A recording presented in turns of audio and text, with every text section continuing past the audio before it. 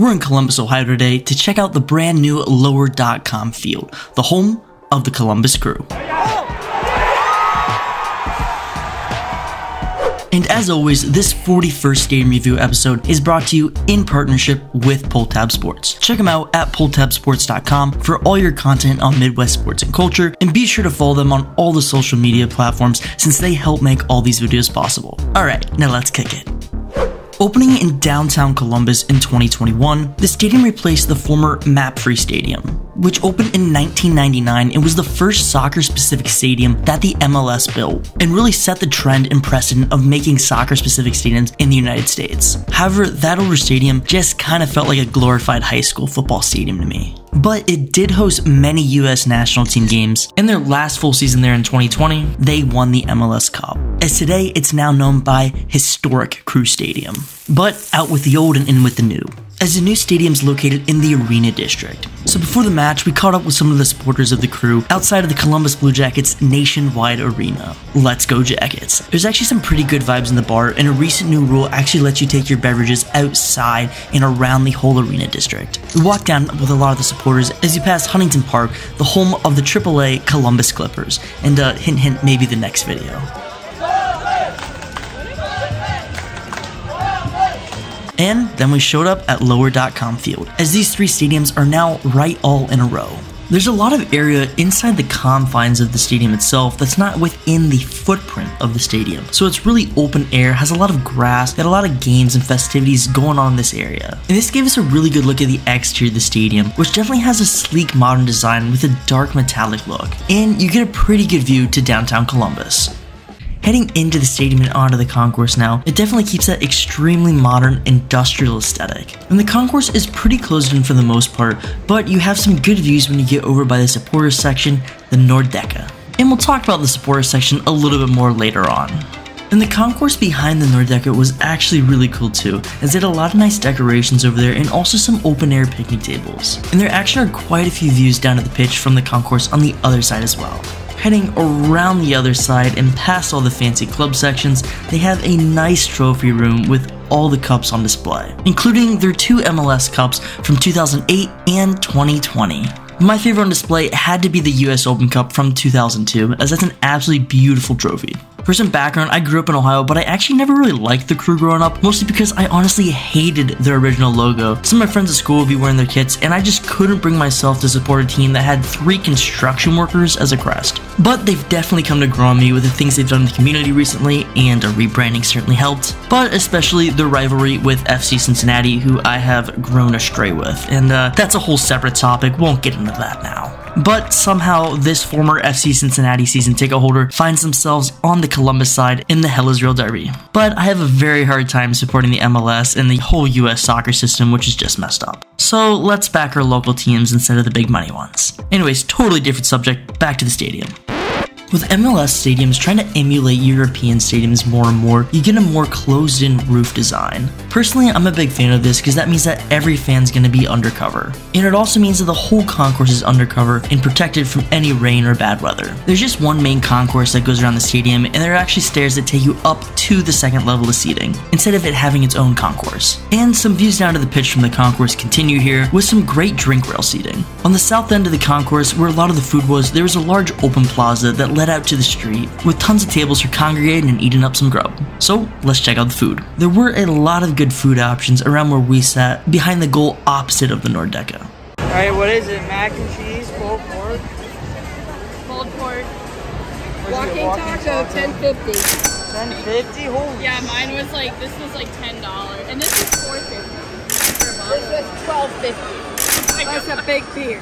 Yeah, my mom and sister weren't too happy about the food prices, but I kept it simple with some chicken and fries. And of course, gotta get that Q, the barbecue sauce to go with it.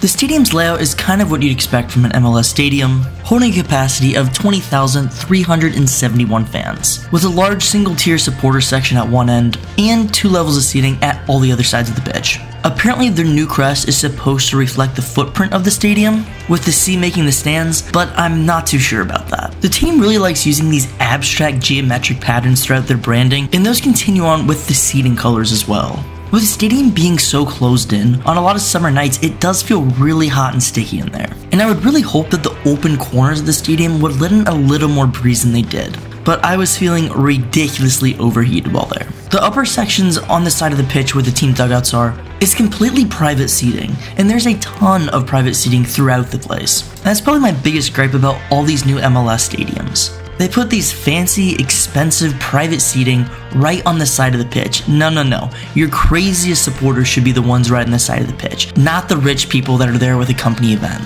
And speaking of the craziest supporters, the Nordecke at the north end of the stadium has rail seating throughout, so it's safe standing, and they also have the possibility to fold down the seats to their bleachers. I'm a huge supporter of safe standing at soccer stadiums, and this is something that the MLS has done super well recently as this 37 degree single stand has the second largest capacity of any supporter section in the MLS, fitting over 3,300 fans. And they brought the noise all night, and they even showed a QR code on the scoreboard so you can get all the chants.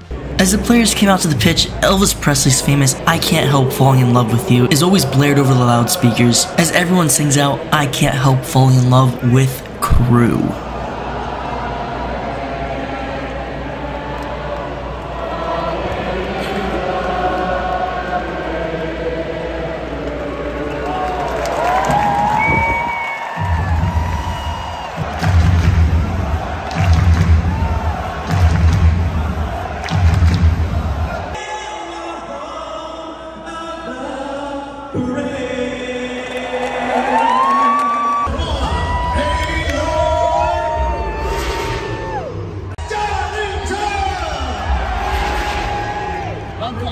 Thank you.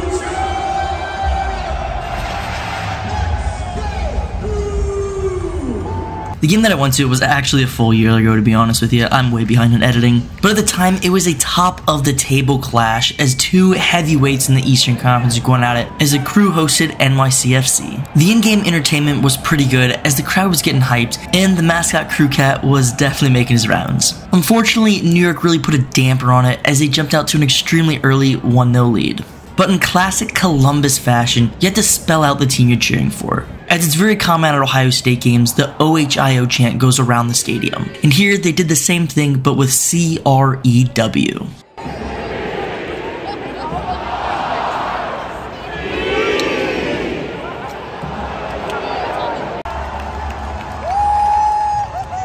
Twenty minutes in, the crew drew level, and the yellow and black smoke was billowing out of the Nordecke.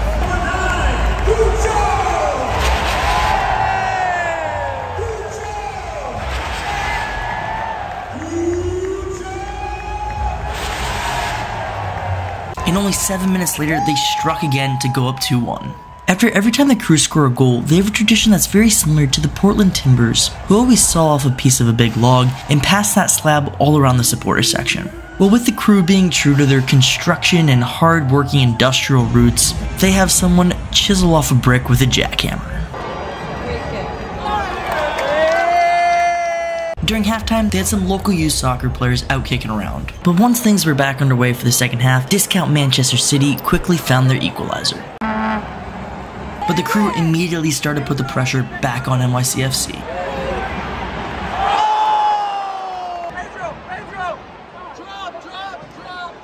Oh!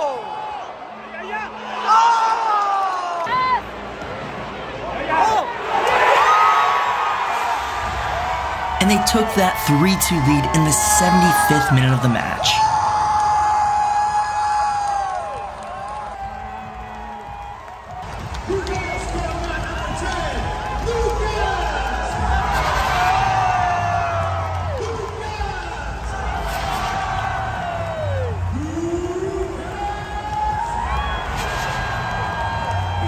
Vibes in the stadium remained up to push them out through the full 90 and secure the 3 2 victory. Honestly, a fantastic game for my first time at the Crew Stadium.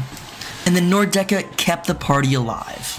And to be honest with you, coming from someone that's extremely anti MLS, as you saw earlier, I was actually extremely impressed with the authentic atmosphere that was created here. Because I know that's not the case around the entire league. But I think that's one of the benefits that the club has being one of the original members of the MLS beginning play in 1996. And it seems like everyone else is just trying to catch up.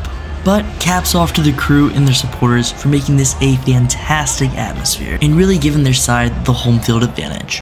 And that's going to do it here at lower.com field. Thanks so much for watching. Be sure to give this video a thumbs up and subscribe to the channel so you can see lots more videos just like this one. And I will see you again very soon for another stadium review.